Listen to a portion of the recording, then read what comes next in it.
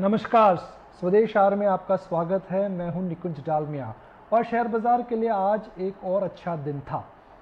Sensex और Nifty अब एकदम शानदार तरीके से ऑल टाइम हाई की तरफ़ बढ़ रहे हैं। एक तरफ़ हमने देखा मार्केट ब्रेथ हालाँकि कल कल जितनी बढ़िया नहीं थी, मगर मार्केट ब्रेथ स्टिल पॉजिटिव थी।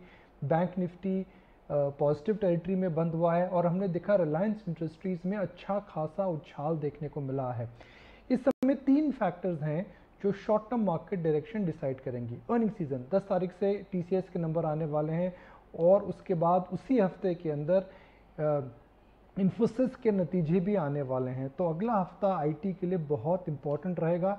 एक्सेंचर के नंबर्स के बाद पूरा सेक्टर री रेट हुआ था और दो मुद्दे इस समय आईटी सेक्टर में इंपॉर्टेंट हैं कि वेज हाइक की वजह से मार्जिन में क्या इम्पैक्ट पड़ रहा है और दूसरा, इस समय जो मल्टी ईयर आईटी साइकिल चालू हुई है, क्या एक्सेंचर के बाद दूसरी आईटी कंपनीज़ को भी लगता है कि वह मल्टी ईयर साइकिल बरकरार रहेगी? तो यह मुद्दा नंबर वन है अर्निंग सीज़न फिर एफआई एक्टिविटी कुछ दिन से हम देख रहे हैं कि एफआई की जो सेलिंग थी वह थम सी गई है। बहुत अच्छी खबर है, अगर एफआई सेलिंग थम सी जाती है और डी बाइंग चल रही है तो शेयर बाज़ार के अंदर कोई बड़ी बिकवाली करने वाला नहीं रहेगा, जो कि मार्केट के लिए काफ़ी अच्छा है। और तीसरा बड़ा फैक्टर जो रहेगा ओमिक्रॉन जी हाँ साहब, वहाँ पर खबर तो अच्छी नहीं है नंबर बढ़ रहे हैं।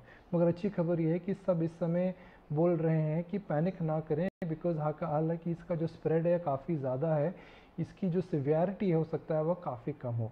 अगर इस धारणा में कुछ परिवर्तन आता है कि सिवियरिटी अगर बढ़ जाती तो शायद शेयर बाज़ार एक समय, शेयर बाज़ार को छोटा सा झटका लग सकता है। तो ये तीन बड़े मुद्दे हैं। इनके अलावा रिलायंस और HDFC बैंक दो बड़े शेयर्स हैं जिन पे आपको नज़र रखनी चाहिए, क्योंकि अगर ई e का फ्लोज वापस आता है तो ज़ाहिर है वह लार्ज कैप स्टॉक्स में वापस जाएगा। रिलायंस पे पचास रुपये का उछाल HDFC बैंक में हमने देखा कल ढाई तीन फ़ीसदी का उछाल आया था। आज भी एक डेज़ लो से जाकर के स्टॉक रिकवर हुआ था। चीनी के स्टॉक्स आज ऊपर गए हैं। मैं कई दिनों से बता रहा हूँ कि चीनी के स्टॉक्स में नज़र रखिए। एक प्रकार का इसमें इलेक्शन प्ले भी कहा जा सकता है। यूपी इलेक्शन आने वाले हैं और इस सेक्टर के अंदर हम बुनियादी तरीक़ों से भी देख रहे हैं। एथेनॉल को लेकर के ग्लोबल प्राइसिंग को लेकर के काफ़ी चेंजेस आ रहे हैं। कुछ चीनी की कंपनीज़ की बैलेंस शीट भी काफ़ी सुधर चुकी है।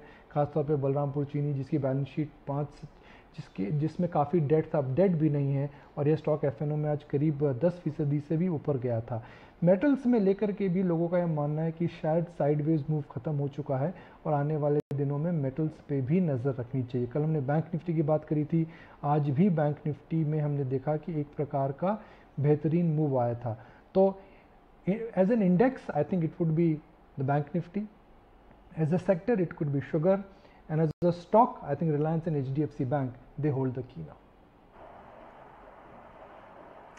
बिल्कुल निकुंज और अगर आगे बढ़ते हुए हम बाज़ार की आज की चाल की बात करें तो आज का दिन भी बाज़ार के लिहाज से काफ़ी शानदार रहा है। और हमने देखा कि निफ्टी 17 नवंबर 2021 के बाद पहली बार 17,800 के ऊपर बंद होने में कामयाब रहा है। लेकिन ओवरऑल आज बाज़ार में कारोबार कैसा रहा है तमाम डिटेल्स हमारी सहयोगी पूजा त्रिपाठी दे रही हैं। बाज़ार में आज लगातार तीसरे दिन हमने अच्छी क्लोजिंग देखी है। बेहतर ग्लोबल संकेत है सुबह और एफ़ की तरफ़ से भी जो बाइंग है, अब वो शुरू हो चुकी है। एक ट्रेंड रिवर्सल यहाँ पर देखने को मिला। अब धीरे धीरे बाइंग दिख रही है। तो उसकी वजह से हम देख रहे हैं तमाम फैक्टर्स की वजह से कि बाज़ार में अच्छी तेज़ी देखने को मिली है। खबरों के चलते भी हमने देखा कि काफ़ी सारे स्टॉक स्पेसिफिक एक्शन काफ़ी ज़्यादा थे आज के दिन में। अगर निफ्टी की बात करें तो सत्रह के ऊपर की क्लोजिंग देखी और सेंसेक्स में भी करीब छह सौ सत्तर अंकों की मजबूती देखी गई है। बैंक निफ्टी में अब जो तेज़ी का दौर था वो अब शुरू हो चुका है और 418 अंक की बढ़त के साथ बैंक निफ्टी ने भी क्लोजिंग दी है। आज अगर सेक्टर स्पेसिफिक बात करें तो पावर और सरकारी बैंकों में काफ़ी अच्छी तेज़ी देखने को मिली है। वहीं फार्मा रियल्टी और मेटल इंडेक्स में आज के सेशन में दबाव देखने को मिला। टाटा मोटर्स में भी इतने दिनों की जो तेज़ी थी, वहाँ कहीं ना कहीं ब्रेक लगी और सेल एसे के डाउनग्रेड के कारण टाटा मोटर्स में भी आज डेढ़ परसेंट की कमज़ोरी देखी गई है। कुछ और स्टॉक्स जहाँ पर की तेज़ी और मंदी थी, उसमें निफ्टी में चढ़ने वाले शेयरों पर अगर नज़र डालें तो आज मज़बूत है एनटीपीसी ओएनजीसी में तीन परसेंट की बढ़त थी। एसबीआई और पावर ग्रिड ये कुछ ऐसे स्टॉक्स थे जो कि ढाई परसेंट से ज़्यादा की मजबूती के साथ आज कारोबार कर रहे थे। गिरने वाले शेयरों में Tata Motors Coal India Sun Pharma और टाटा कंज्यूमर यहाँ पर आज कमज़ोरी देखने को मिली है। कुछ सिलेक्टेड सेक्टर्स थे जहाँ पर कि आज मजबूती काफ़ी थी और उसमें शुगर शेयरों में आज काफ़ी अच्छी तेज़ी थी। घरेलू के साथ ग्लोबल प्राइस भी एक, वहाँ पर भी मज़बूत ट्रेंड देखा जा रहा है और काफ़ी सारे फैक्टर्स भी थे जिस पर कि हमने आज दिन भर चर्चा किया और उसके चलते आज इन स्टॉक्स में भी तेज़ी देखने को मिली है। बलरामपुर, चीनी अपने लाइफ टाइम हाई पर आज कारोबार कर रहा था। द्वारिकेश, सुगर, धामपुर और त्रिवेणी इंजीनियरिंग में भी आज अच्छी मजबूती देखने को मिली है। इसके अलावा खबरों के चलते भी काफ़ी सारे स्टॉक्स में एक्शन था। हिंदुजा ग्लोबल सॉल्यूशंस यहाँ पर कंपनी की बैठक होने वाली है। बोनस इश्यू पर विचार करेगी। उसके चलते हिंदुजा ग्लोबल सॉल्यूशन में अच्छी तेज़ी थी। लेवन लेवेंट्री होटल्स में एक ब्लॉक डील देखने को मिली। गोल्डमैन सैक्स की तरफ़ से और यहाँ पर भी आज अच्छी बाइंग दिखी है। और इसके अलावा एलेम्बिक फार्मा में भी आज अच्छी मजबूती थी। कंपनी की दवा को मंजूरी मिल चुकी है। इसके चलते एलेम्बिक फार्मा में भी आज अच्छी तेज़ी थी। तो कुछ खबरों वाले शेयर्स भी आज काफ़ी ज़्यादा थे, जहाँ पर कि एक्शन काफ़ी था। तो ओवरऑल आज की क्लोजिंग काफ़ी अच्छी थी। लगातार तीसरे दिन हमने देखा कि एक शानदार क्लोजिंग देखने को मिली। चलिए तो ये तो आज के पूरे मार्केट राउंडअप की बात हो गई है लेकिन बाज़ार के दिग्गज क्या कहते हैं बाज़ार के दिग्गज निवेशक बसंत महेश्वरी ने छोटे शहरों के बजाय आपको लार्ज कैप में निवेश की रणनीति बनाने की सलाह दी है That's been a theme for the last two, three years, if you look at it, because uh, the the returns from the large caps haven't been bad at all. Some large caps have gone up three, four, five times from the bottom of the COVID thing. So And in the small caps, the thing is that if this market is being driven by foreign money or domestic mutual fund money, not so much by the retail investors, because when the retail investor buys, he looks at the smallest of small caps. When the mutual fund buys, it wants to have the entry and the exit also. And scale after this GST thing and other things, I think scale is what is benefiting these large and mid caps. And especially at an index level of 17 and a half and 18,000, you don't want to be with the smallest of small caps. There's an entry problem, there's an exit problem. And plus, these are the first stocks to fall whenever there is an issue. So you have to be with the large caps. That is what we think actually. Nitin Spinners के MD Dinesh Naulakha के मुताबिक सरकार ने textile में 100 billion dollar के export का लक्ष्य रखा है और इसके लिए सरकार लगातार प्रयास करती हुई दिखाई भी दे रही है उन्होंने कहा है कि 100 बिलियन डॉलर के एक्सपोर्ट के लिए सबसे पहले इंफ्रास्ट्रक्चर को बढ़ावा देने की सख्त ज़रूरत है। गवर्नमेंट का कंप्लीट फोकस है कि हम जो भी एफ़ आज की तारीख में डिस्कस हो रहे हैं, उसमें टेक्सटाइल को एक प्राइमरी रखा गया है। इसका मेजर रीजन है कि टेक्सटाइल जो है एग्रीकल्चर के बाद में सबसे बड़ा सेकेंड लार्जेस्ट एम्प्लॉयर है कंट्री का। तो अगर हमें एम्प्लॉयमेंट बढ़ाना है हमारे देश में, और हमें देखना है कि हमारे यहाँ अनएम्प्लॉयमेंट कम हो तो टेक्सटाइल को बढ़ावा देना बहुत ज़रूरी है। और उसको देखते हुए जो गवर्नमेंट का फोकस है, उससे 100 बिलियन डॉलर का एक्सपोर्ट टारगेट कोई ऐसा नहीं है कि अनअचीवेबल है। जब हम यहाँ पर करीबन 160 बिलियन डॉलर की हमारी टेक्सटाइल इकोनॉमी आज के दिन में है और हम 40 बिलियन डॉलर एक्सपोर्ट कर रहे हैं और हम जो डोमेस्टिक इकोनॉमी करीबन चार पाँच परसेंट से भी ग्रो कर रहे हैं तो यहाँ से अगले चार साल के अंदर अगर हम 300 बिलियन डॉलर की इकोनॉमी हो जाते हैं टेक्सटाइल्स के अंदर तो हम आराम से सौ बिलियन का एक्सपोर्ट कर पाएँगे। जो इसके लिए थोड़ा सा इंफ्रास्ट्रक्चर की ज़रूरत है थोड़ा सा हमें ये ये साइज़ बढ़ाने की ज़रूरत है, जो कि आज जैसे हमारी कंपनी इसी दिशा में काम कर रही है कि हमें अपनी कंपनी का साइज़ बढ़ाना है, ताकि हम ग्लोबल प्लेयर्स की नज़र में आ सके और उनकी जो बड़ी डिमांड है और इंस्टेंट डिमांड्स हैं, उसको हम केटर कर सके। तो इन सबको देखते हुए थोड़ा हमको साइजेस को बड़ा करना पड़ेगा जो कि जिस दिशा में सभी टेक्सटाइल कंपनी आज की तारीख में काम कर रही है। तो ये आगे आने वाले समय में आप तीन से चार साल के अंदर हमारी एक टेक्सटाइल इकोनॉमी को आराम से एक लार्ज स्केल पे देखेंगे और 100 बिलियन डॉलर एक्सपोर्ट भी पॉसिबल हो पाएगा। चलिए अब देख लेते हैं कि पिछले पाँच साल के दौरान बाज़ार ने जनवरी महीने में आखिर किस तरह की परफॉर्मेंस दी है। किन इंडेक्स सेक्टर्स और स्टॉक्स में हमने स्पेसिफिक एक्शन देखा है। ये खास रिपोर्ट लेकर आए हमारे सहयोगी जयेश हलनानी जनवरी का महीना काफ़ी इंटरेस्टिंग रहा है मार्केट्स के लिए। अगर आप फ्रंटलाइन इंडेक्स की बात करें तो बहुत ज़्यादा बड़ा मूवमेंट नहीं देखने को मिला है ऑन क्लोजिंग बेसिस बट आप इंट्रा वॉलिटिलिटी की बात करें, जो जनवरी के महीने में पिकअप होती है, वो काफ़ी बड़ी है। निफ्टी और निफ्टी बैंक का हल्का सा यू नो हरा निशान दिखा के बंद हुए हैं पिछले पाँच सालों में। और स्मॉल और मिड कैप इंडेक्स में थोड़ी सी गिरावट देखने को मिली है।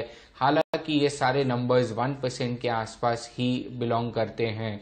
इंडिविजुअल सेक्टर्स की अगर मैं बात करूँ तो सिर्फ़ निफ्टी आईटी इंडेक्स एकमात्र ऐसा सेक्टर है जो ऊपर गया है। तीन, साढ़े तीन परसेंट की एवरेज रिटर्न हमने देखी है। चार टाइम ये लास्ट पाँच में से हरा निशान दिखाया है इसने। और बाकी सारी इंडस्ट्रीज़ जो है वो नीचे की तरफ़ गई है। वो निफ्टी फार्मा हो ऑटो इंडेक्स हो पीएससी बास्केट या पीएसयू बैंक इंडेक्स भी हो, वन परसेंट से लेके फाइव परसेंट की गिरावट देखने को मिली है। बट वॉलिटिलिटी जो है, मैं बात कर रहा था, वो जनवरी के महीने में पिकअप होती है।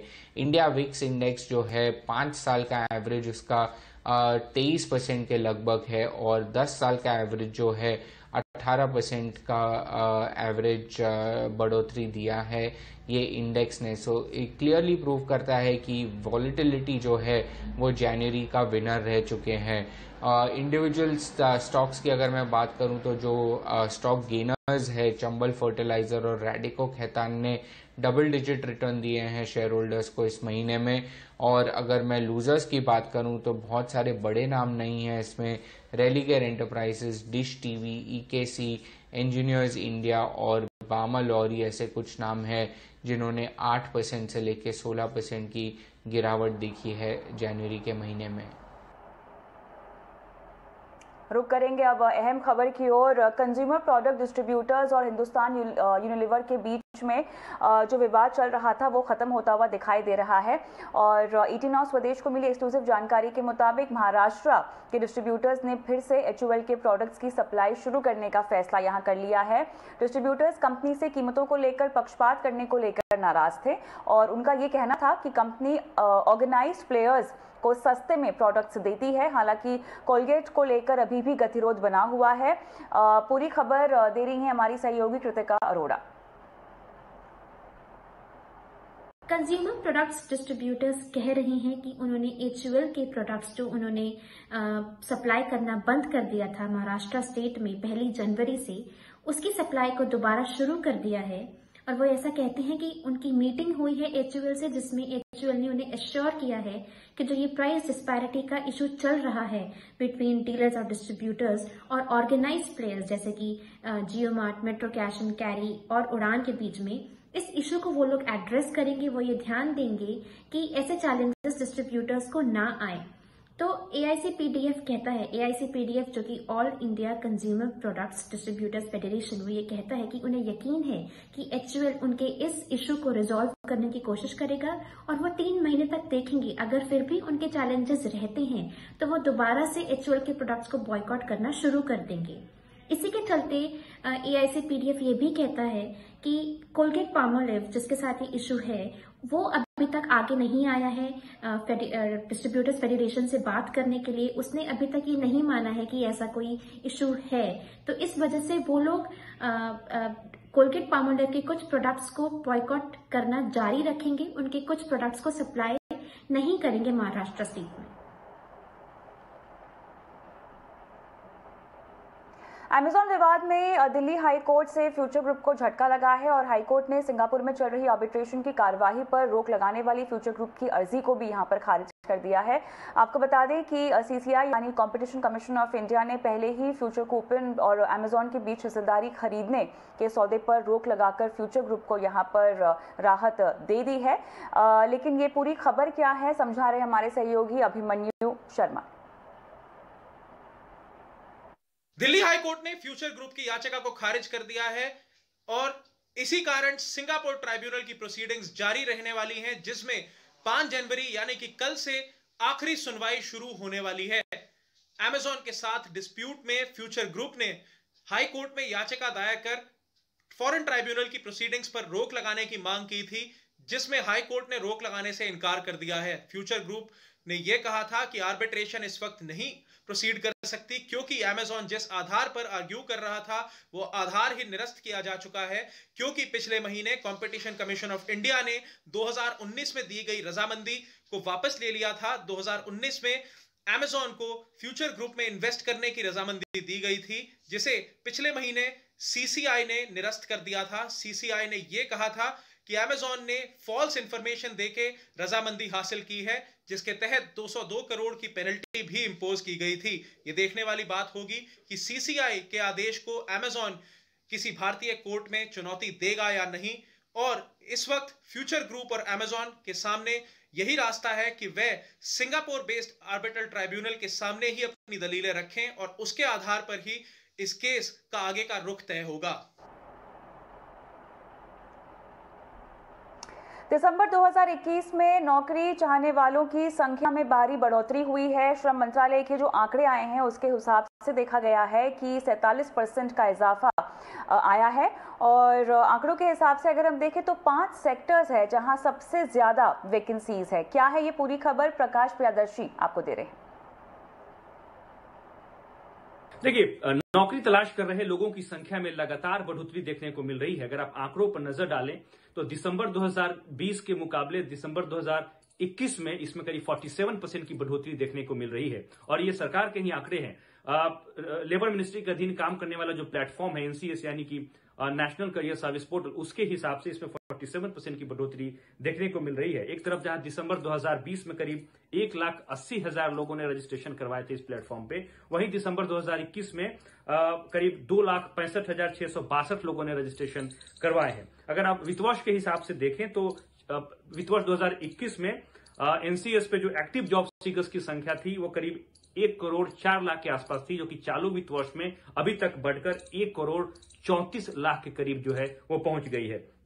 ज़्यादा हैरानी की बात यह है कि एक करोड़ चौंतीस लाख प्रत्याशी पे जो एक्टिव वैकेंसीज की संख्या अवेलेबल है, वो है एक लाख सत्तर हज़ार। तो इस गैप का अंदाज़ा आप खुद लगा सकते हैं और सिर्फ़ एक प्लेटफॉर्म की बात है। जो कैटेगरी वाइज सेक्टर्स हैं जहाँ पे नौकरियाँ अवेलेबल हैं, वो प्लेसमेंट एम्प्लॉयमेंट एजेंसी में सबसे ज़्यादा छब्बीस परसेंट वैकेंसीज है इन्फॉर्मेशन एंड कम्युनिकेशन सेक्टर में फिफ्टीन परसेंट वैकेंसीज है फाइनेंस और इंश्योरेंस सेक्टर में नाइनटीन परसेंट और प्रोफेशनल एंड साइंटिफिक सेक्टर में करीब करीब 16 परसेंट के आसपास वैकेंसीज मौजूद हैं। चलिए आगे बढ़ते हैं। देश बदल रहा है और बढ़ रहा है। इसीलिए बहुत ज़रूरी है कि आप भी देश के साथ कदम से कदम मिलाएँ और आगे बढ़ें। इसीलिए हम आपको दिखा रहे हैं बदलते भारत की कुछ ऐसी ही कहानियाँ।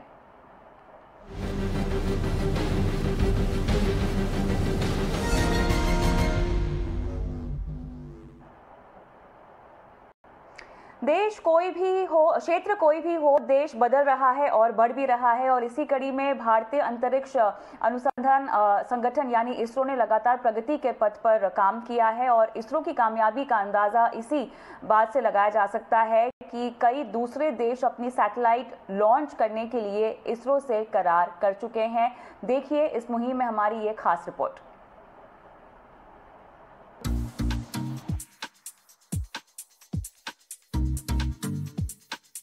इसरो, जिसका लोहा दुनिया मानती है। हाल ही में इसरो ने चार देशों के साथ 1140 करोड़ रुपए से ज़्यादा के छह समझौते किए हैं, जिसके तहत इसरो 2021 से 2023 के बीच इन देशों के सैटेलाइट्स को लॉन्च करेगा। बता दें कि साल 1999 से अब तक इसरो चौतीस देशों के 342 विदेशी सैटेलाइट्स अंतरिक्ष में लॉन्च कर चुका है। खास बात यह है कि इसरो ने 124 स्वदेशी सैटेलाइट्स अंतरिक्ष में लॉन्च किए हैं। जिनमें 12 सैटेलाइट छात्रों द्वारा निर्मित है। जिन जिन देशों ने भी स्पेस टेक्नोलॉजी में प्रोग्रेस की प्रोग्रेस के प्रयास किए, उनकी ओवरऑल साइंटिफिक प्रोग्रेस में बढ़ोतरी होती गई। आप लोगों को जानकारी हो, होगी कि 1957 में सोवियत संघ ने जब दुनिया के प्रथम आर्टिफिशियल सैटेलाइट स्पुतनिक को लॉन्च किया तो उसे तैयार करने के क्रम में सोवियत संघ को एक बड़ा टेक्नोलॉजिकल जंप मिला। और टेक्नोलॉजी के मामले में उसका ग्लोबल डोमिनेंस इस कदर हुआ यूनाइटेड स्टेट जैसे देश को भी झटका लगा और उसे अपनी टेक्नोलॉजिकल प्रोवेस के बारे में सोचना पड़ा और इतिहास में से स्पुतनिक मूवमेंट के नाम से जाना जाता। वहीं इसरो ने सैटेलाइट लॉन्चिंग के ज़रिए साल 2019 से साल 2021 के बीच छियासी दशमलव चार आठ करोड़ रुपए कमाए हैं। भारत ने सबसे ज़्यादा 226 अमेरिकी सैटेलाइट लॉन्च किए हैं। इसके बाद 12 इंग्लैंड के और 12 ही कनाडा के 11 जर्मनी के और 8 सिंगापुर के सैटेलाइट शामिल हैं। इसके अलावा इसरो के कई प्रोजेक्ट्स पाइपलाइन में हैं और कई फाइनल स्टेज में, जो 2022 की पहली तिमाही में पूरे हो जाएँगे। 15 अगस्त 2022 से पहले देश का पहला मानव रहित मिशन शुरू किया जाएगा। इसके अलावा तीन स्पेस मिशन कतार में है। पहला दिशा मिशन है दूसरा वीनस मिशन है और तीसरा ISRO C N E S संयुक्त विज्ञान मिशन दृषणा है। साथ ही पी एस एल वी पर इसरो फोर और इसरो सिक्स की लॉन्चिंग होनी है। एस एस एल वी की पहली उड़ान में इसरो टू की लॉन्चिंग होगी। इसरो पूरी दुनिया में सबसे सस्ते लॉन्च के लिए जाना जाता है।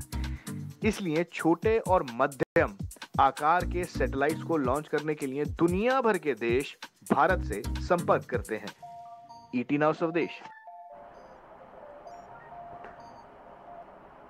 चलिए बात करते हैं ओमिक्रॉन वेरिएंट की, जहाँ पर ओमिक्रॉन वेरिएंट के इन्फेक्शन की जाँच के लिए देश को अब अमेरिकी किट की ओर देखना नहीं पड़ेगा और ऐसा हम इसीलिए कह रहे हैं क्योंकि आईसीएमआर ने स्वदेशी किट को मंजूरी दे दी है और इस आरटीपीसीआर टेस्ट किट का नाम ओमिश्योर है और टाटा ग्रुप की company Tata Medical and Diagnostics ने इसको तैयार किया है और अब तक भारत में अमेरिकी किट का इस्तेमाल हो रहा था और ये कैसे और कितना फ़ायदेमंद होगा, तमाम डिटेल्स हमारे सहयोगी समीर दीक्षित दे रहे हैं। जी बिल्कुल, कोरोना के मोर्चे पे ये अच्छी खबर है कि कोरोना संक्रमितों में ओमिक्रॉन संक्रमण है या नहीं, ये पहचानने के लिए स्वदेशी निर्मित आरटीपीसीआर किट तैयार कर ली गई है। यानी कि अब देश की ही कंपनी के बनाई एक आरटीपीसीआर किट, उसका इस्तेमाल किया जाएगा कि ये पहचानने के लिए कि जो कोरोना मरीज़ है, उसमें ओमिक्रॉन संक्रमण है या नहीं।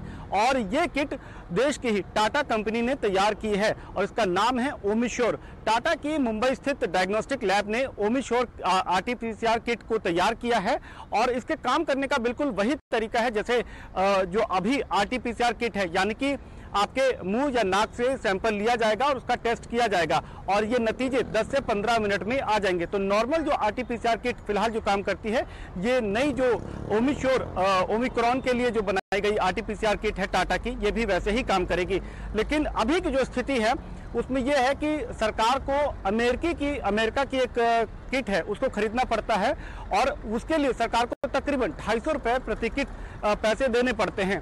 ओमिश्योर की क्या कीमत होगी, ये इस बात को अभी इसका खुलासा नहीं हुआ है, लेकिन माना यह जा रहा है कि ये काफ़ी कॉम्पिटेटिव प्राइस रहेगा, ये काफ़ी कंपेरेटिवली काफ़ी सस्ते दाम पर ये भारत सरकार को मिल पाएगी, और उसका बड़ा फ़ायदा ये होगा कि बहुत तेज़ी से जो देश में ओमिक्रॉन संक्रमित मरीज़ हैं, उनकी पहचान हो पाने में सफलता मिलेगी और उनका इलाज हो पाने में काफ़ी हद तक सफलता मिल पाएगी। तो भारत के नज़रिए से ये एक बड़ी उपलब्धि है कि देश के ही निर्मित टाटा ने जो ओमिश्योर आरटीपीसीआर किट बनाई है इसका इस्तेमाल देश में कोरोना संक्रमित, जिसमें ओमिक्रॉन के लक्षण हैं या वो संक्रमित हैं, उनकी पहचान करने के लिए जल्द इस्तेमाल में लाएगी। और इसको आईसीएमआर, यानी कि Indian Council of Medical Research से भी मंजूरी मिल गई है। मैनकाइंड फार्मा ने अपनी सबसे सस्ती कोविड 19 एंटीवायरल ड्रग आपको बता दें, यहाँ पर मोलिनपिवीर को जल्द ही लॉन्च वो कर सकती है। कंपनी इस दवा को इसी हफ़्ते बाज़ार में उतार सकती है। इसकी कीमत पैंतीस रुपए प्रति कैप्सूल हो सकती है। साथ ही मैनकाइंड फार्मा के चेयरमैन आर सी जुनेजा के मुताबिक मोलू लाइफ जो इसका ब्रांड का नाम है इसकी फुल ट्रीटमेंट की जो कीमत है वो लगभग चौदह सौ रुपये होगी। और इस दवा को तेरह भारतीय दवा कंपनियाँ मिलकर बनाएँगी, जिसमें Torrent Cipla sun pharma doctor Reddy's Mylan और हेट्रो शामिल है। फुल ट्रीटमेंट के लिए इसकी कीमत 2000 से 3000 रुपए के बीच हो सकती है और मुंबई में बीएमसी ने इसके प्रोडक्शन के लिए टेंडर जारी कर दिया है।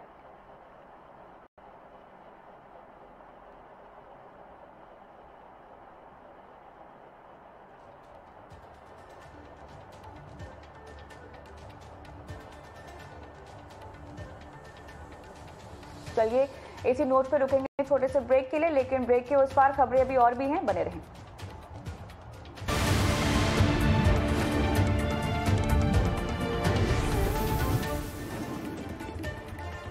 तो स्वागत है एक बार फिर से आप सभी का स्वदेशार में, और अब कुछ बड़े इंटरव्यूज़ की ओर हम रुक करते हैं। वाइटो कैपिटल के फाउंडर प्रशांत खेमका का कहना है कि पिछले साल हमने न्यू एज टेक कंपनियों की लिस्टिंग होते हुए देखा था, लेकिन आगे भी कई न्यू एज टेक कंपनियों की लिस्टिंग होने की उम्मीद है। और क्या कुछ कहना है उनका इस बारे में? आइए आपको सुनाते हैं।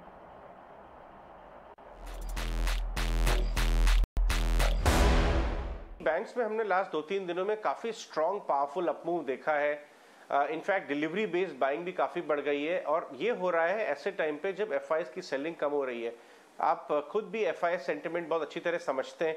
आपको लगता है ये long spell of under performance जो बैंकिंग स्पेस का था, वो अब रिवर्स होने की पॉसिबिलिटीज हैं आगे कुछ क्वार्टर्स में, जैसे क्रेडिट ग्रोथ ऑफ़ टेक बढ़ता है? पॉसिबिलिटी ज़रूर है। बहुत डिफ़िकल्ट है ये कहना। पूरे एक सेक्टर के बारे में बट इट इज़ पॉसिबल कि जो अंडर परफॉर्मेंस रहा है बैंकिंग सेक्टर का पिछले साल and because of that under performance उस अंडर परफॉर्मेंस के चलते अभी जो वैल्यूएशन बैंक्स के हो गए, कई जो एकदम उनमें वो हिस्टोरिकल लेवल्स के कंपैरिजन में एंड मार्केट के रिलेटिव कंपैरिजन में अट्रैक्टिव हो गए काफ़ी तो एंड इन बैंकों का काफ़ी भारी वेट भी है बेंचमार्क में। तो as a combination of these aspects possible है कि कैचअप uh, देखने को मिलेगा from some of this banks और overall more generally private sector banks जो है जिन्होंने अंडर परफॉर्म किया है uh, उनमें कैचअप देखने को मिलेगा। ठीक है। प्रशांत एक और चीज़ भी है मार्केट्स के अंदर कि आप जब ये थोड़ी चर्निंग होती है तो क्या होता है ना कि कुछ एक सेक्टर्स थोड़े पीछे चले जाते हैं जो अच्छे भी चल रहे हैं। लेकिन आईटी को देखकर ऐसा लगता नहीं क्योंकि उनकी गाइडेंस अच्छी है उनका बिज़नेस अच्छा है उनका एक्सपेंशन अच्छा है। ऐसा भी हो सकता है कि कुछ बैंक के साथ आईटी अभी और भी चलता रहे ये चर्निंग में आईटी बाहर ही ना जाए। हो, हो सकता है। अभी ज़रूरी नहीं है कि किसी एक सेक्टर में पैसा जाने के लिए किसी पर्टिकुलर एक सेक्टर से पैसा निकले। और ज़रूरी ये भी नहीं है कि किसी एक सेक्टर को अच्छा करने के लिए जैसे बैंकिंग सेक्टर है कि उसको अच्छा करने के लिए बहुत सारी ये नॉर्मल अजम्पन रहता है कि अगर कोई सेक्टर अच्छा कर रहा है तो बहुत नया पैसा उसमें जा रहा है। आ, हमारे हिसाब से हालाँकि उस पर बहुत ज़्यादा बहस करना या बहुत ज़्यादा डिस्कस करना उस पर इतना वैल्यू ऐड नहीं करेगा बट इसे इस तरह से नहीं देखना चाहिए कि अगर बैंकिंग सेक्टर अच्छा कर रहा है तो कोई और सेक्टर में से पैसा निकलेगा ज़रूरी फ़र्स्ट ऑफ़ ऑल सेकेंड जो आईटी सर्विसेज़ की बात की आपने आईटी सर्विसेज़ हमारे हिसाब से टीम के हिसाब से, अभी भी again risk of generalisation so मैं जो कह रहा हूँ, वो not necessary for every stock that applies but IT services में कई जो स्टॉक्स हमारी टीम को पसंद है उसके अभी भी वैल्यूएशन बहुत अट्रैक्टिव है। अगर आप हिस्टोरिकल कंपैरिजन में देखो लास्ट दो तीन चार साल के कंपैरिजन में देखो तो ज़रूर वैल्यूएशन से मल्टीपल्स ऊपर है आज of IT services companies compare to उनके खुद के जो मल्टीपल थे आज से तीन चार साल पहले। हावेवर uh, पूरे मार्केट के मल्टीपल पिछले तीन चार साल में ऊपर गए हैं। वो uh, उस पर uh, ध्यान देना चाहिए। And even relative to market multiples improve हुए क्योंकि तीन चार साल पहले जो शुरू ये आईटी सर्विसेज़ कंपनीज़ का अगर आप देखिए तीन चार साल पहले बहुत ही क्रश्ड मल्टीपल्स पे थे। इनका कोई कई जन को ऐसा था 2017-18 में इनका कोई फ्यूचर नहीं बचा है। मेच्योर uh, कंपनीज़ हो गई है इनमें एक्स ग्रोथ कंपनीज़ हो गई है because of automation digitalisation Indian IT services company catch up नहीं कर पाएगी। With the Western trend, overall volume of work decrease होगा and Indian IT companies won't be the ones जो उसको capture कर पाए।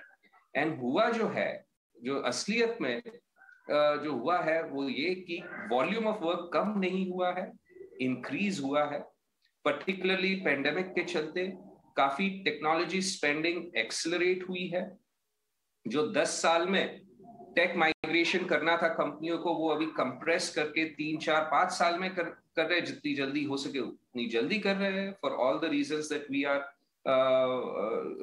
we are fully understanding of तो उसके चलते वॉल्यूम ग्रोथ बहुत स्ट्रांग रहा है। एंड प्लस ये देखा गया मोर इम्पोर्टेंटली कि इंडियन आईटी सर्विसेज़ कंपनियों ने particularly the well run IT services कंपनियों ने ये ट्रांजिशन बहुत अच्छी तरह कैप्चर किया है। Rather than losing market share to their western counterparts and not only the जो पुराने वेस्टर्न काउंटर पार्ट्स थे, जैसे IBM Capgemini and all but rather than losing overall market share कोई न्यू अपस्टार्ट्स के वजह से in the western world on the whole Indian IT services have captured added to their market share particularly जो नई digital technologies है उस क्षेत्र में। एंड हैंस जो मार्केट का असेसमेंट था about these companies has evolve over the last three years क्योंकि जो नेगेटिव व्यू था, वो प्ले आउट नहीं हुआ। उल्टा, बल्कि positive exact opposite view reality opposite हो गई कि volume growth and market share growth दोनों बहुत स्ट्रांग रहे। एंड हैंस वो, जो अपने देख रहे हैं पिछले तीन चार साल में, वो simply recalibration from a suppressed multiple to a more normal multiple वो देखने को मिला है आईटी सर्विसेज़ में।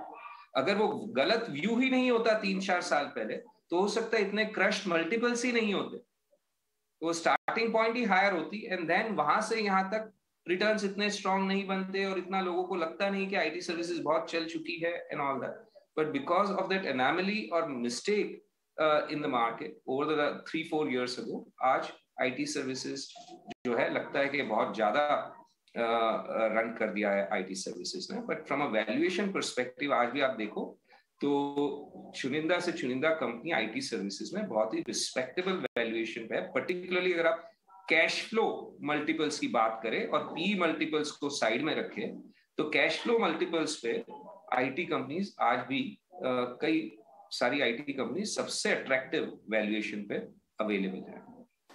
बहुत ही अच्छी बात प्रशांत। बहुत बढ़िया आपने वैल्यू एडेड पॉइंट हाईलाइट किया कैश फ्लो मल्टीपल वाला जो हमारे व्यूअर्स को समझना चाहिए आ, कि कैश फ्लो मल्टीपल पे कंपनीज़ अट्रैक्टिव हैं।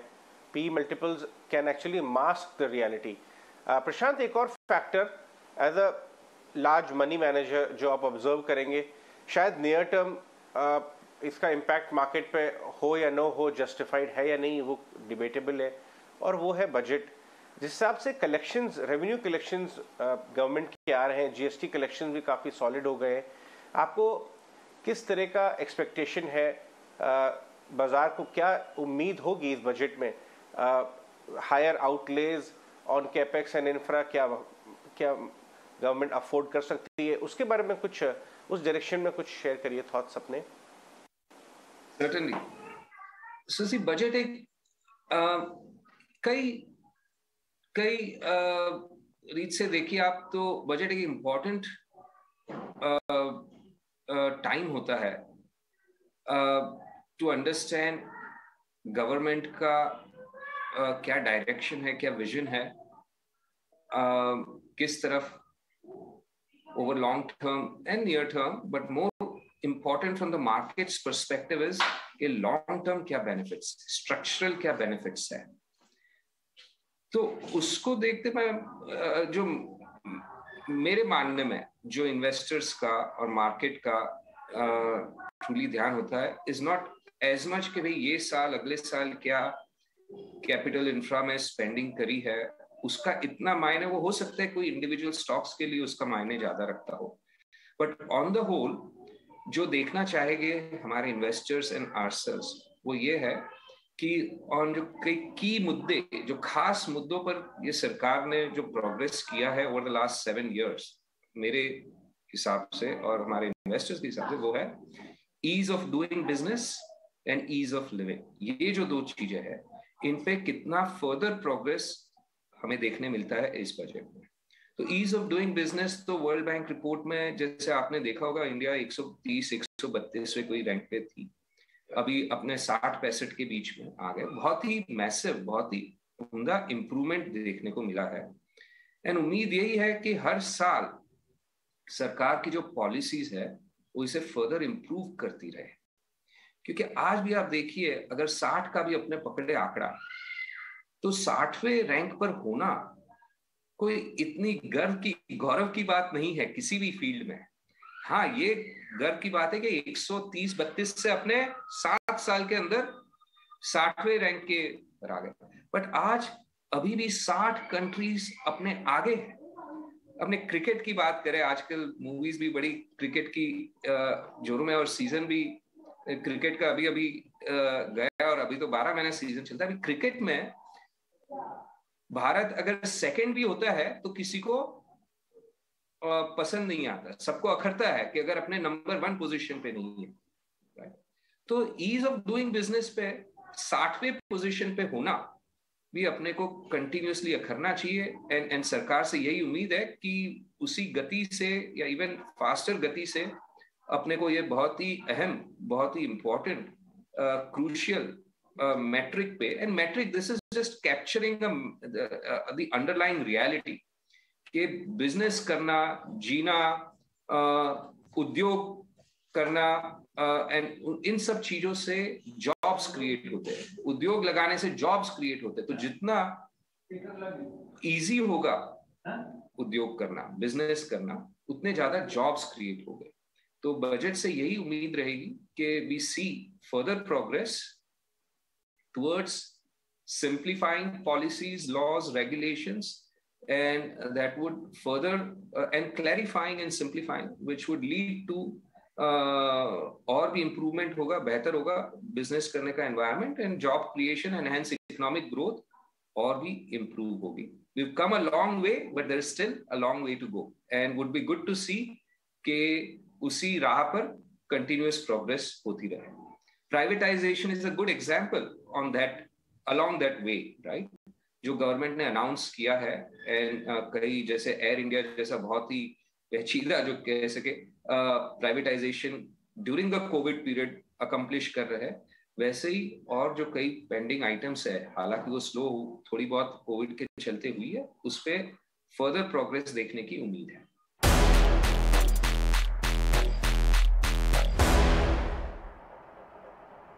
अब रुक करते हैं मनी मंत्रा की ओर, जहाँ पर हम आपको बता रहे हैं देश की बेटियों की कामयाबी की कहानी। और इस कड़ी में आज इटलवाइज म्यूचुअल फंड की एमडी सीईओ राधिका गुप्ता से हमने बात की और कैसे महिलाओं को निवेशक बनाया जाए। और किस तरह से साल 2022 इसमें काफ़ी कारगर साबित हो सकता है? एक निवेशक के तौर पे भी साल 2022 में वो कौन कौन से निवेश को लेकर नियम है जो आपको पालने चाहिए? इन तमाम मुद्दों पर बात की हमने। देखते हैं मनी मंत्रा।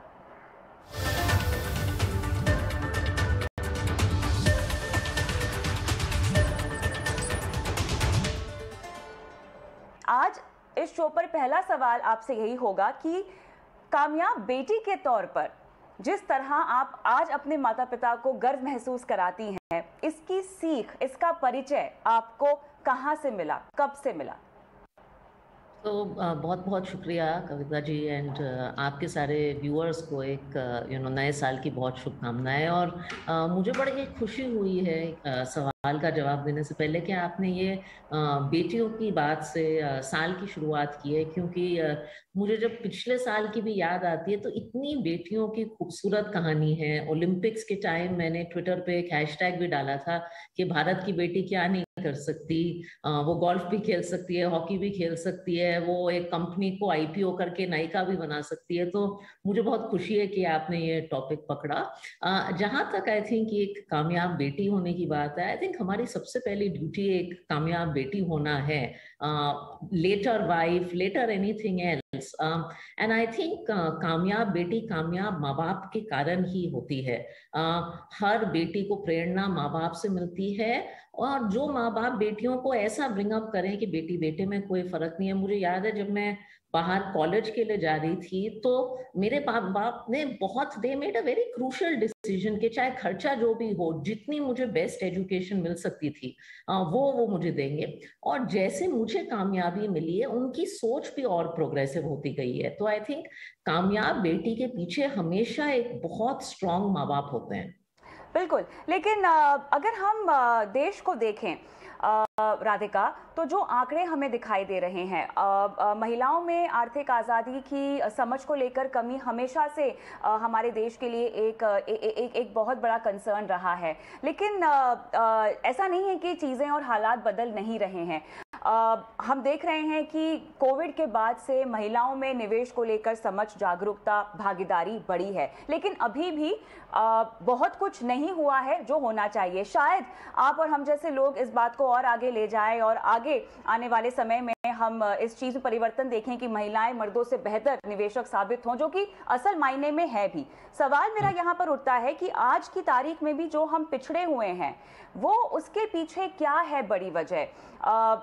जो स्थिति पहले थी, वो काफ़ी मायनों में अब नहीं है, लेकिन अभी भी कुछ ना कुछ अधूरापन है जहाँ तक महिलाओं की आर्थिक आज़ादी, अपनी जीवन को अपने तरह से जीने की जब बात आती है इस तमाम मामलों में। देखिए, ये ये बड़ा गहरा मुद्दा है। इस पे अगर आप देखें क्या क्या प्रॉब्लम है। एक तो और मैं इस बारे में काफ़ी सोचती हूँ, काफ़ी पढ़ती हूँ। एक तो अगर आप देखें तो हमारी as a working women participation he workforce में काफ़ी कम है और एक्चुअली घटती जा रही है अनफॉर्चुनेटली 27 परसेंट हमारी महिला जाके कमाती हैं। तो पहले तो ये बात है। दूसरा कमाने वाली महिला भी ये बहुत बार सोचती है और ये इसमें कोई गरीब अमीर चलिए बात करते हैं ओमिक्रॉन के केसेस की जहाँ पर अगर मुंबई को हम देखें तो एक तरह से कोरोना का विस्फोट हो चुका है पूरी तरह से और पिछले 24 घंटे के भीतर ही हमने देखा है कि कोरोना के दस साठ नए मामले आए हैं और महाराष्ट्र में कोरोना के 18,000 से ज़्यादा नए केसेस अब आ चुके हैं। सरकार की ओर से जारी लेटेस्ट आंकड़ों के मुताबिक मुंबई में कोरोना से दो लोगों को अपनी जान भी गंवानी पड़ी है। मुंबई में कोरोना की पॉजिटिविटी रेट टेंशन बढ़ाने वाली है। पूरा अपडेट इस पर हमारी सहयोगी खुशबू तिवारी दे रही है। कोविड 19 के मामलों में लगातार तेज़ी बनी हुई है। खासतौर पर अगर पिछले 24 घंटों में देखें तो दस हज़ार का आंकड़ा मुंबई में पार हो चुका है। पिछले 24 घंटों में उनचास हज़ार के आसपास कोविड 19 के टेस्ट किए गए हैं, जिसमें से दस हज़ार आठ सौ साठ लोग संक्रमित पाए गए हैं। अगर बात करें कि ऐसे कितने लोग हैं जिनमें लक्षण नहीं देखने को मिले कोविड नाइन्टीन के तो एटी नाइन ऐसे लोग थे जिनके अंदर कोई भी लक्षण देखने को नहीं मिला है कोविड का। फिर भी वो संक्रमित पाए गए हैं। दो लोगों की मृत्यु भी हुई है मुंबई में। दिल्ली में भी पाँच हज़ार से ऊपर के ज़्यादा मामले देखने को मिले हैं पिछले चौबीस घंटों में। इन दोनों शहरों में लगातार तेज़ी देखने को मिली है कोविड नाइन्टीन की और मुंबई में जो पॉजिटिविटी रेट है वो भी बाईस फ़ीसदी के करीब पहुँच चुका है, जो कल तक सोलह फ़ीसदी के आसपास था। वहीं आज मुंबई की मेयर किशोरी पेडनेकर ने कहा है कि अगर शहर में बीस हज़ार से ज़्यादा कोविड नाइन्टीन मामले पाए जाते हैं तो यहाँ पे लॉकडाउन लगाने की भी ज़रूरत पड़ सकती है और उन्हें हिदायत दी है लोगों को कि वे पब्लिक स्पेसेस पर ना निकले और कोविड अप्रोप्रिएट बिहेवियर का पालन करें। उन्होंने ये भी कहा है कि जो मुख्यमंत्री है, उद्धव ठाकरे, वो दो से तीन दिन में एक बार पुनर्विचार कर सकते हैं कि किस तरह की गाइडलाइंस लानी चाहिए ताकि जो बढ़ते मामले हैं, उन पर अंकुश लगाया जा सके। दूसरी ओर मुंबई में कोरोना की बढ़ती रफ्तार की वजह से क्या मुंबई में लॉकडाउन लगेगा? आ, या इस तरह के सख्त कदम क्या लिए जा सकते हैं? तो इस सवाल का जवाब देते हुए मुंबई की मेयर किशोरी पेडनेकर ने प्रेस कॉन्फ्रेंस में कहा कि अगर मुंबई में कोविड के मामले बीस हज़ार के आंकड़े के पार चले जाते हैं तब यहाँ पर लॉकडाउन लगाना ज़रूरी होगा। किसी को भी नहीं चाहिए। दस्तूर खुदा मुख्यमंत्री भी कह रहे लॉकडाउन नहीं चाहिए। तो भी लॉकडाउन नहीं चाहिए।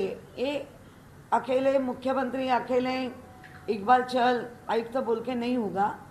हम सबको मिल के जो मास्क का लगाना ज़रूरी है टू वैक्सीन लेना ज़रूरी है आ, हम भीड़ में नहीं जाना भीड़ नहीं मनाएँगे बनाएँगे। ये सब करते तो हम बच सकते जो हमारे आयुक्त है जो हमारा राज्य सरकार है और जो हमारा केंद्र से आने वाले जो नियमावली है, वो कह रहे कि ऐसे ही बीस हज़ार के ऊपर रुग्ण पाए जा रहेंगे तो लॉकडाउन लगाना ज़रूरी होगा। मुंबई की तरह दिल्ली में भी कोरोना पॉजिटिविटी रेट में बड़ा उछाल देखा गया है और कोरोना संक्रमण की जो दर है 8.37 परसेंट हो गई है। पिछले 24 घंटे में पाँच हज़ार चार सौ इक्यासी नए मामले भी सामने आए हैं और इतना ही नहीं, कोरोना के बढ़ते मामलों को देखते हुए दिल्ली सरकार ने अब कड़े कदम भी उठाने शुरू कर दिए हैं। 100 से ज़्यादा टेलीमेट्री डिवाइसेस लगाए जा रहे हैं दिल्ली में। दिल्ली के सरकार और प्राइवेट अस्पतालों में लगने वाले इन डिवाइसेस के ज़रिए ऑक्सीजन सप्लाई की मॉनिटरिंग भी की जाएगी और ज़रूरत के मुताबिक ऑक्सीजन सप्लाई मुहैया कराने में ट्रांसपेरेंसी भी बनी रहेगी।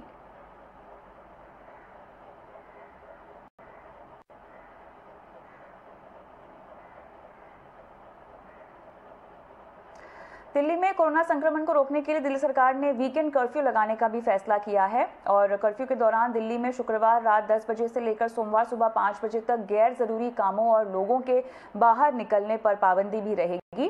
और खाना, मेडिकल पुलिस सब्ज़ी, प्रेस और दूसरी ज़रूरी जो सेवाएँ हैं वो खुली रहेंगी। आवश्यक सेवाओं के लिए के अलावा दूसरी दुकानें जो हैं, वो वीकेंड पर खुलने की इजाज़त नहीं होगी। आज डीडीएमए की बैठक में सरकार ने कुछ फैसले लिए। उसमें सबसे इम्पोर्टेंट है कि दिल्ली में सैटरडे और संडे को, यानी वीकेंड्स पर अब कर्फ्यू रहेगा। तो लोगों से अपील है कि कर्फ्यू के दौरान बाहर ना निकलें। बहुत ज़रूरी होने पर हॉस्पिटल या कोई बहुत एसेंशियल ज़रूरत पर ही बाहर निकलें। लेकिन सैटरडे संडे को कर्फ्यू का पालन करें, घर में रहें वर्क फ्रॉम होम करें या परिवार के साथ बैठें। दूसरा केसेस ना बढ़ें, इसलिए ये भी फैसला लिया गया कि जितने भी गवर्नमेंट ऑफ़िस हैं, उनमें एसेंशियल सर्विस वाले ऑफ़िस को छोड़कर सबको अभी दफ्तर आने से मना किया जाएगा और केवल ऑनलाइन या वर्क फ्रॉम होम कराया जाएगा। तो दिल्ली में कोरोना को लेकर किस तरह से हालात गंभीर हो रहे हैं? सरकार किस तरह के कदम उठा रही है? तमाम डिटेल्स दे रहे हैं हमारे सहयोगी समीर दीक्षित। जी, बिल्कुल। दिल्ली में कोरोना की स्थिति लगातार बिगड़ती जा रही है। ओमिक्रॉन के मामलों में लगातार इजाफा हो रहा है। आज के आंकड़े बता रहे हैं कि दिल्ली में तकरीबन साढ़े पाँच हज़ार कोविड संक्रमित मामले सामने आए हैं और यही बताता है कि पॉजिटिविटी जो रेट है, वो करीब करीब 9 प्रतिशत के आसपास पहुँच गया है। स्थिति लगातार गंभीर होती जा रही है, जिसको देख करके दिल्ली सरकार ने कई बड़े फैसले लिए हैं। सबसे पहले बड़ा फैसला यही कि दिल्ली में वीकेंड कर्फ्यू लागू रहेगा। शनिवार और इतवार को सभी जो है व्यावसायिक प्रतिष्ठान बंद रहेंगे। केवल जो ज़रूरी सेवाओं के अंतर्गत जो आते हैं, उनको चालू रहने की मंजूरी दी गई है। मसलन एंबुलेंस है, जो स्वास्थ्य सेवा है, जो पुलिस सेवा है, उन सबको चालू रहने की अनुमति दी गई है। मेट्रो और बसेस में लोग सफ़र कर सकते हैं, लेकिन मास्क लगाना अनिवार्य तौर पर लागू रहेगा। जो सरकारी दफ्तर है, उसमें भी केवल 50 प्रतिशत तक लोगों को ही आने की मंजूरी दी गई है। प्राइवेट ऑफ़िस में भी 50 परसेंट वर्क कैपेसिटी को लेकर के आदेश जारी किया गया है। लगातार जिस तरीके से अस्पतालों में मरीजों की संख्या बढ़ रही है, इसको देख करके दिल्ली सरकार ने आदेश दिया है कि जितने भी प्राइवेट हॉस्पिटल है और जो ऑक्सीजन टैंक है, उसमें टेलीमेट्री डिवाइस लगाया जाएगा। इस डिवाइस के ज़रिए सरकार लगातार ये निगरानी रखेगी कि कितनी ऑक्सीजन की उपलब्धता है और मांग के मुताबिक कितनी और ऑक्सीजन की सप्लाई की जानी है। तो टेलीमेट्री डिवाइस के ज़रिए सरकार लगातार ऑक्सीजन को लेकर के उस पर नज़र बनाए रखेगी।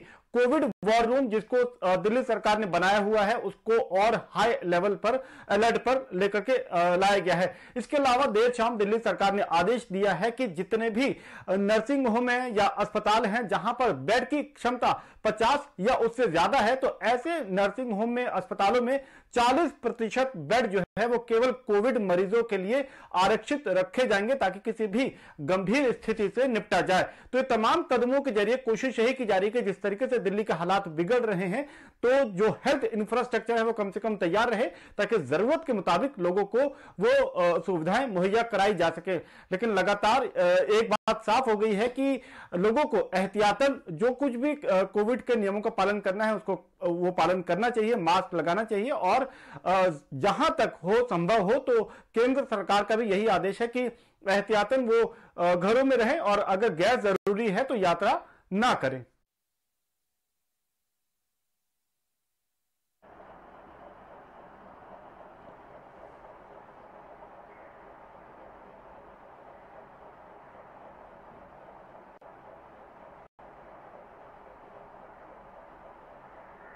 दिल्ली में कोरोना पर लगाम लगाने के लिए सरकार की ओर से उठाए जा रहे कदमों के बारे में आ, हमने आपको बताया लेकिन वीकेंड कर्फ्यू जैसे कदम पर दिल्ली वासियों का रिएक्शन कैसा है आइए आपको दिखाते हैं। कर्फ्यू या नाइट कर्फ्यू लगाने से जो दिन में ज़्यादा भीड़ बढ़ेंगे और जो ट्रांसमिशन का जो ओमिक्रॉन ट्रांसमिशन का चांसेस ज़्यादा है अगर आप प्रॉपरली ब्लॉक करना है तो प्रॉपर लॉकडाउन लगा दीजिए। नहीं तो वैक्सीनेशन करवा दीजिए। वीकेंड पे कर्फ्यूजन लगाया है, उससे क्या हो जाएगा? मैं तो पहले ये कहना चाहूँगा सरकार को कि उससे क्या करोना या कोई वो रुक जाएगा क्या? आप सेवन डेज़ में टू डेज़ अगर वीकली ऑफ़ कर रहे हो और फाइव डे आप ओपन कर रहे हो तो टू डेज़ में करोना रुक जाएगा क्या?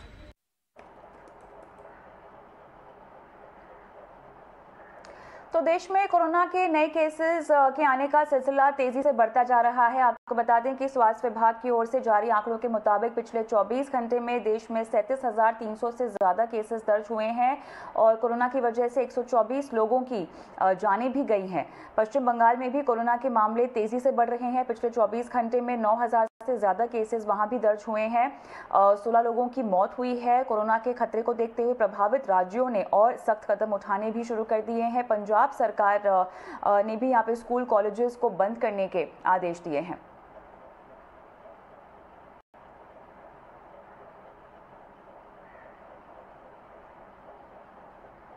तो देश में कोरोना के नए वेरिएंट ओमिक्रॉन की रफ्तार तेज हो रही है। स्वास्थ्य विभाग की ओर से जारी आंकड़े अगर हम देखें तो ओमिक्रॉन के जो मामले में मामले हैं अठारह सौ बानवे। पर पहुँच गए हैं। ताज़ा आंकड़ों के मुताबिक महाराष्ट्र अभी भी ओमिक्रॉन की लिस्ट में नंबर वन पर बना हुआ है और पाँच सौ अड़सठ ओमिक्रॉन केसेस रजिस्टर हो चुके हैं। राजधानी दिल्ली की बात करें तो तीन केसेस हैं और केरल में ओमिक्रॉन तेज़ी से बढ़ रहा है। एक केसेस यहाँ पर सामने आ चुके हैं। राजस्थान की बात करें तो एक केसेस हैं। गुजरात में एक सौ बावन, तमिलनाडु में लगभग 121 केसेस सामने आए हैं।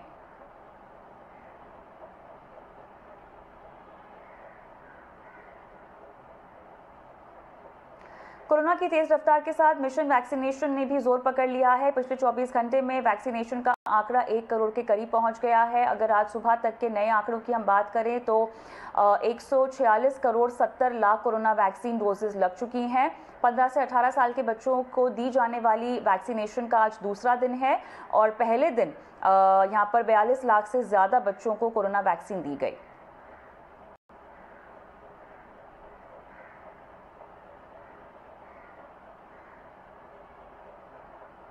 स्वदेश वार में आज के लिए इतना ही, लेकिन तमाम खबरों की अपडेट के लिए बने रहें ईटी न्यूज़ स्वदेश के साथ। नमस्कार।